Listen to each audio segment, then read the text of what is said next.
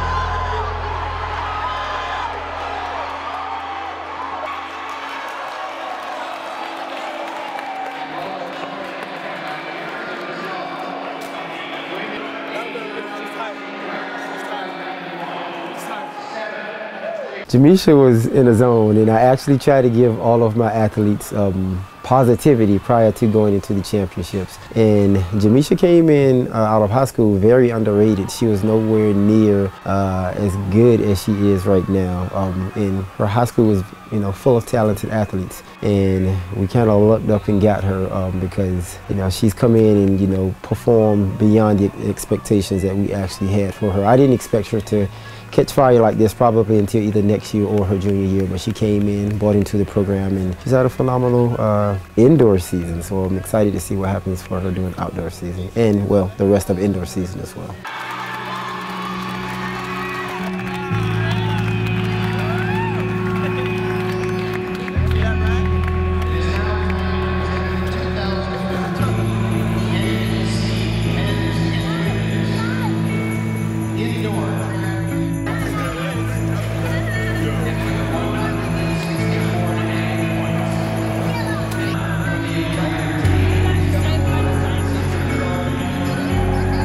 Track and field, it's basically you against yourself. Even though you have competitors there, you're always your biggest competitor. A lot of times you fall short. It's usually from the messages that you send yourself. So the more positive you can be uh, through good results and or bad results, the better your performance usually is. And a lot of times we fall short as athletes is because of the negativity that we tell ourselves prior to competing or what's going through our head during the competition. And you know we had events where we felt we should have did better in and when they didn't go the way that they should have went the emotions were very hard to control because we knew that going into the championships that body wise we were limited. We knew that we had to be on and when we weren't on we just kind of beat ourselves up a little more than we needed to and it kind of drained us a little uh, more than we really wanted it to do. But um, it's a it's a sport where the emotions are always a roller coaster. One minute they're extremely up, you know, some minutes, some that, you know, you're extremely down. One team on three. One, two, three. One team, one purpose, one goal.